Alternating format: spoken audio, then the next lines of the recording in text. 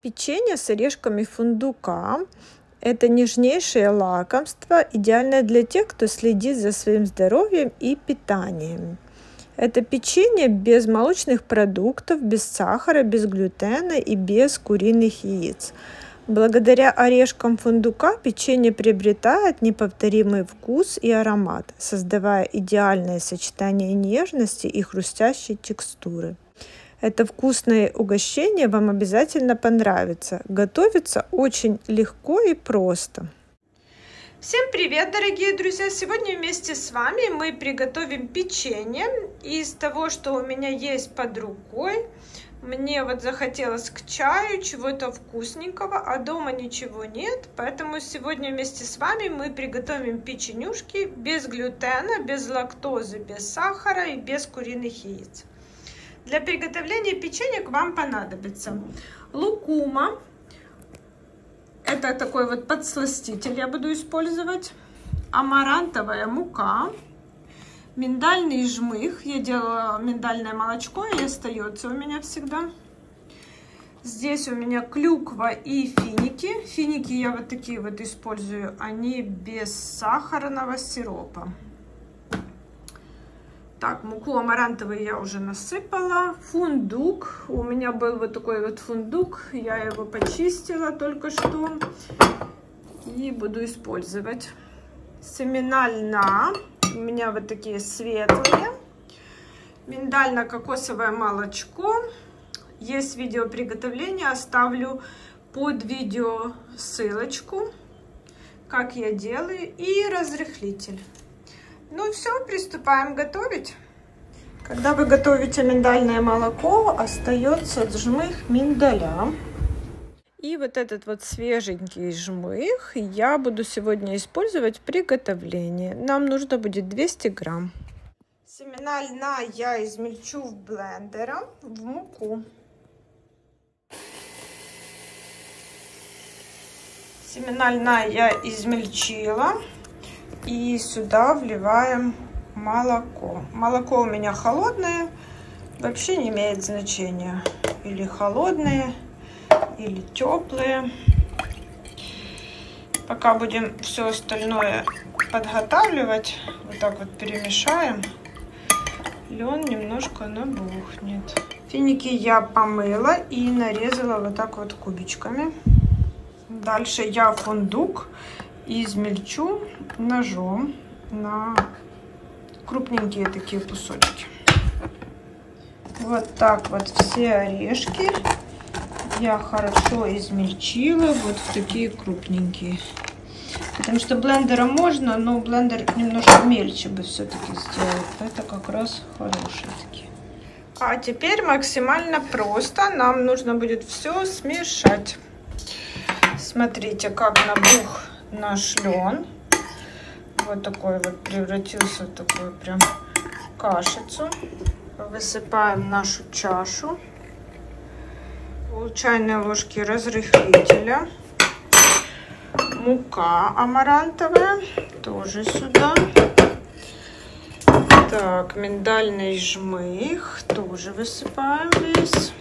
Случайно выключилась камера. Рассказываю, я в чашу уже добавила клюкву, финики, половинку орешков, вторую половинку оставляем для посыпки и столовую ложку порошка лукумы. Теперь все хорошо перемешаем.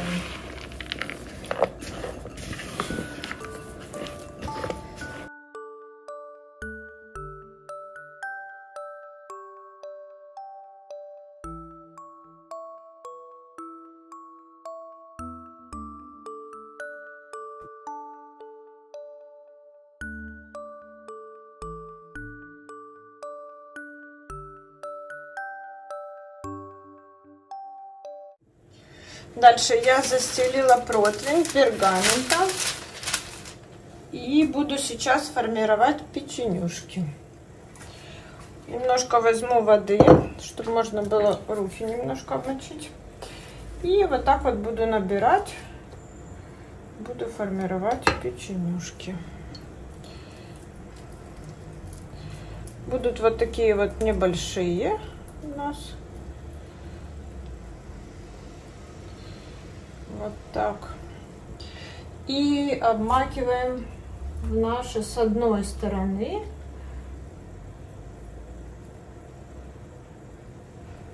Будем обмакивать вот так вот в наши орешки. Вот такой вот, видно? Так.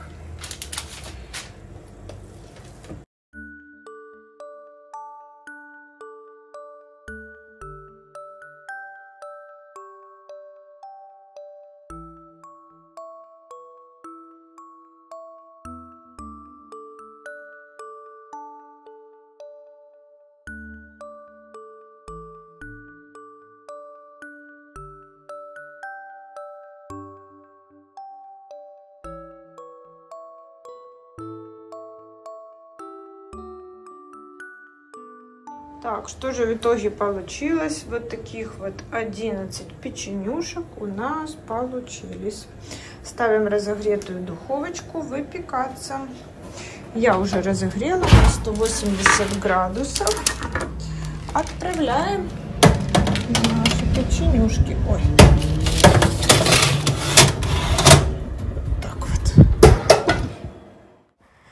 Через 40 минуточек печенюшки наши испеклись, орешки сверху поджарились, очень вкусные, ароматные. Попробуйте это печенье, вам оно очень понравится. Хороший вариант давать ребенку в школу, как буду делать я. Тарасик мой очень любит эти печеньки. Я думаю, вашим деткам они тоже очень понравятся. Сейчас покажу, какие печеньки внутри. Мы вчера, конечно, уже покушали половину, съели. Вот такие вот они. По сладости они получаются очень даже сладкие. Очень вкусные. Вот эти вот орешки очень вкусно. И вы никогда не скажете, что они без глютена, без яиц. Вот такие вот они внутри, мягенькие очень ароматные. Очень вам рекомендую. Ну все, кому понравился рецепт, ставьте лайки, подписывайтесь на мой канал. Все готовлю для себя, для своей семьи. Поэтому впереди еще вас ждут много разных рецептов. Всем пока-пока!